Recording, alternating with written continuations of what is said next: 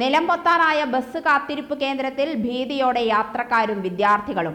വടക്കഞ്ചേരി നഗരഹൃദയത്തിലെ സ്കൂളിന് മുന്നിലെ bus stop വർഷങ്ങളുടെ പഴക്കം കൊണ്ട് ദ്രവിച്ച ചോർച്ചയും വിള്ളലും മൂലം അപകട ഭീഷണിയിലാണ്. വടക്കഞ്ചേരി ചെറുപുഷ്പം സ്കൂളിന് മുന്നിലെ തൃശൂർ ഭാഗത്തേക്കുള്ള ബസ് സ്റ്റോപ്പാണിത്. വടക്കഞ്ചേരി പഞ്ചായത്തും പൊതുമരാമത്ത് വകുപ്പും ഇത് നന്നാക്കാനോ പുതുക്കിപ്പണിയാനോ ശ്രമിക്കുന്നില്ല. ബലക്ഷയം മൂലം കെട്ടിടം ദുർബലാവസ്ഥയിലാണ്. അപകട ഭീഷണി ഒഴിവാക്കാൻ നടപടി സ്വീകരിക്കണമെന്നാണ് രക്ഷിതാക്കൾ ആവശ്യപ്പെടുന്നത്. സ്കൂളിലെ എൻ എസ് എസ് വളണ്ടിയർമാരുടെ നേതൃത്വത്തിൽ പെയിന്റ് അടിച്ച് നടത്തുന്ന അറ്റകുറ്റപ്പണി മാത്രമാണ് ഏക ആശ്വാസം പ്രധാന സ്ലാബിലെ വിള്ളലിനു പുറമെ സ്ലാബും പില്ലറും തമ്മിലെ ബന്ധം വേർപെട്ട നിലയിലാണ്.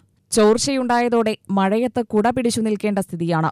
ബസ് കാത്തിരിപ്പ് കേന്ദ്രം പൊളിച്ചുമാറ്റി പുതിയത് നിർമ്മിക്കണമെന്നാണ് വിദ്യാർത്ഥികളുടെയും യാത്രക്കാരുടെയും ആവശ്യം. ഇത് ലക്ഷങ്ങൾ ആൾക്കാർ ഒരുപാട് വന്ന് ഇവിടെ വെയിറ്റിംഗ് ഷെഡിൽ നിൽക്കുന്നതാണ്. ഇതെല്ലാം കമ്പി കാണാൻ തുടങ്ങിയത് പൊട്ടുകൾ ഇതെല്ലാം ഉണ്ട്. ഇത് എന്ത് വിശ്വസിച്ചിട്ട് അവിടെ ഇരിക്കുന്നത്?